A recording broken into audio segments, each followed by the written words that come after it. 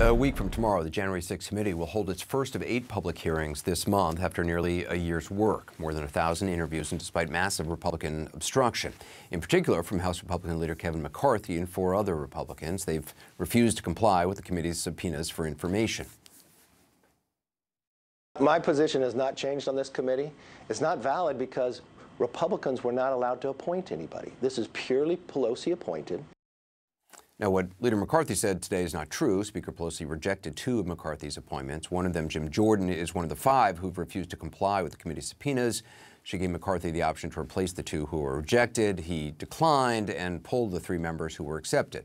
Several Republican members of Congress did end up working with the committee, and a CNN exclusive, one of them joins me tonight, former Republican Congressman Denver Riggleman of Virginia. This is his first interview since serving on the committee as a senior technical advisor and leaving it.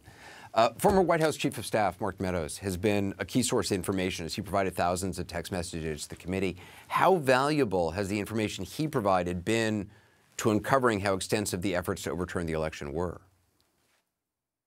Yeah, and thanks for having me, Anderson. I think, uh, you know, as my team was the first to actually see the Meadows text messages when we were able to link the numbers and the names together after we got the thousands of text messages. So to look at it, it's almost a roadmap uh, to what happened. And a lot of the texts haven't come out. Thankfully, I think the committee is going to do a great job of linking those text messages to the other interviews and data that they have. But I think what people are going to understand about the Meadows text messages is how horrible they are. I have to tell you this, Anderson, when I first saw them, uh, my bemusement turned into horror pretty quickly when I saw some of the language that was being used in there. I actually had to get away from the computer a couple times as I was looking at these text messages. And, you know, starting November 3rd, November 4th, uh, in the Meadows text messages all the way to the end, uh, it is a roadmap. And I would have to say at this point, I think Mark Meadows is the MVP uh, for the committee. Uh, I think they should pay him. Um, the, the data that we got from there actually allowed us to really structure an effective investigation. I mean, you mentioned this, but many of the text messages that Meadows provided were to phone numbers that weren't attached to a name who was Meadows communicating with, and, and how did you figure that out? Well, you know, I was fortunate when I was brought on as a senior technical advisor. You know, Congressman was just my cover, Anderson. You know, my background was in the intelligence community and Department of Defense for 20 years. And, you know, I did a lot of telephony analysis, geolocation, and things like that in my life. Uh, I was actually trained at NSA, but I was also trained with uh, Air Force Special Projects. And so when they brought me on, Liz and the Pelosi team, when I interviewed, they understood that I had this background that was very unique, you know, for somebody in Congress. So I, I wrote the contracts uh, for the uh, phone record team and the contract for the open source intelligence research team uh, put the funding together because I was a CEO. I did do program management for those type of programs, and I was able to handpick those teams that hmm. support three-letter agencies. And right now, I would say that without those teams, I think they're the real heroes of this investigation. Uh, you know, I don't like to use their names, but if I if I can talk about you know Golf Bravo and Mike Tango right? And those type of individuals that are out there right now. Another Mike Tango, right? Uh, all these people that have been helping with these contracts and with this analysis. Uh, they're some of the best individuals I've ever met. And the fact is, we had to hand select these teams, people who had supported three letter agencies, and then build an unclassified lab that tried to mimic a classified lab. And we were able to do that on a pretty limited budget, and I'm very proud of them. But uh, you know, linking those numbers to those names are specific types of databases. I'm not going to mention those names right now, uh, but we were very effective in helping the committee not only linking names to numbers, thousands of them, uh, we were also very effective in helping with writing the subpoenas for preservation records, for call detail records, and, and, and also um, actually identifying other, I would say, other high value assets, right, that were in the ecosystem at that time. You, you said right before that you were so troubled by what you saw that you had to step away from your computer. What, what do you mean? What, what, what, did you see that was so troubling? I think. Um, you know, I think, you know, I'd said before, you know, you, you start with these people can actually believe these things, but I was I was looking at former colleagues that were sending horrific things. Um, you know, whether it was, uh, I would say, foreign disinformation videos from YouTube or Rumble or Parler. Uh, I was looking at things that it almost looked like it was a holy war uh, within the text messages themselves. And it was These are sitting members of Congress that, you're talking about. You know, that's correct. Sitting and former members of Congress, You're talking about Trump appointees. You're talking about fundraisers and donors. You're talking about group texts. And, and you know, I would get something, um, Anderson, that might be as crazy as, you know, the orcs are storming the bridge, right? And we need to have some wizard spells to cast on them to, you know, stop the, you know, the, the monkey birds from attacking us.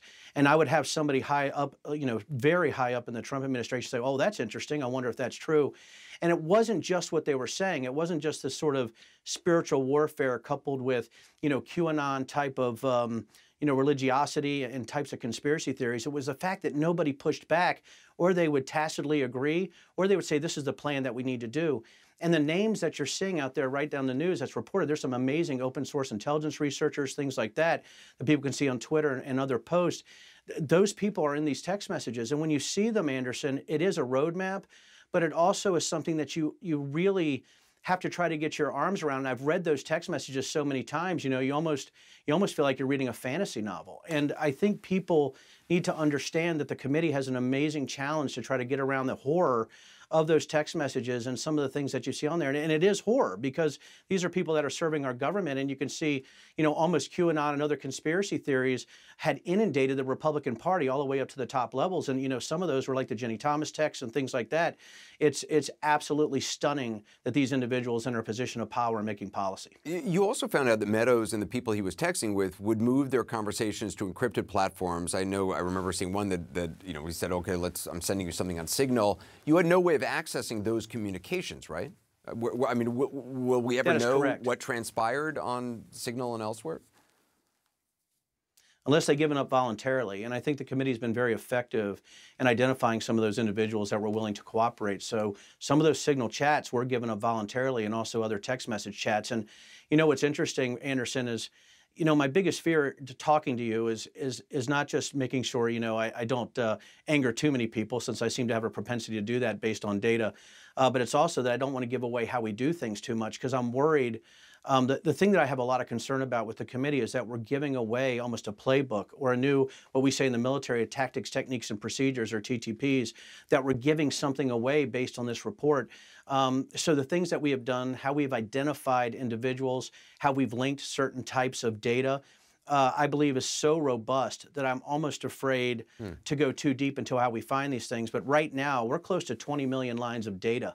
Uh, Anderson, this is the biggest data exercise and effort in the history of Congress, and um, it has been it's been a hell of a thing to try to get our arms around. But again, I think the committee is going to do a good job moving forward and trying to link all that data. I mean, what you're describing sounds like people within the government talking about a coup of, a, of, of our democracy. You know, Anderson, uh, you know, when I first started this, you know, I was afraid to use that term because I wanted to see the data. You know, the the term I like to use was coup-like movements, right? It's it's a military thing when we had we would make fun of people who said they were working but they weren't work-like movements, right? They were just talking. But looking at the interconnectivity between people, what we call the centers of gravity and telephony analysis, so many people are communicating. Uh, the link analysis is absolutely massive. And what the committee has to do, because we're limited in our authorities, there's some disinformation out there that, you know, we can see content, right? Or we've we've got geolocations for telephones, things like that. We don't. So we had to use unclassified data platforms to try to recreate and find that type of data. So we are limited in what we can see, but what we can see is absolutely damning. And the committee has to actually push all those nodes together, all those little endpoints that are people or organizations. They have to link that with the thousand interviews that they did, emails that they have, things like that that I've been able to see. Uh, but also with the massive amount of data we've been able to aggregate and analyze. And I think that's very important for people to understand that the challenge for this committee, they might not cover everything because we have such a short amount of time. But Anderson, I would say we need another year to actually look at the amount of data that we have to, to see how deep this actually went. I mean, based on what you've seen, can you say how high you think this effort to overturn the election goes? Does the committee have information about the former president's, uh, you know, involvement that isn't already known? I don't want to take the committee's thunder, but I'll tell you this, which I think the American people should watch out for, and I can actually refer to the Meadows text messages. When you see text messages that have all three branches of government involved, and, and the one that really bothered me was the forwarded text from Ginni Thomas to Mark Meadows, uh, from Connie Hair, was a chief of staff for Louis Gohmert. You know, we had the wife of a, a, sitting Supreme Court justice, we had the chief of staff of a congressman, and the chief of staff of a president on one text message. Uh, when you talk about horror, when you talk about concern, when you talk about seeing the type of language that they're using, uh, this fantastical language, this call to arms, this is our Omaha beach. When you see, th- I, you know, the, the five most chilling words was the first text. I hope this is true.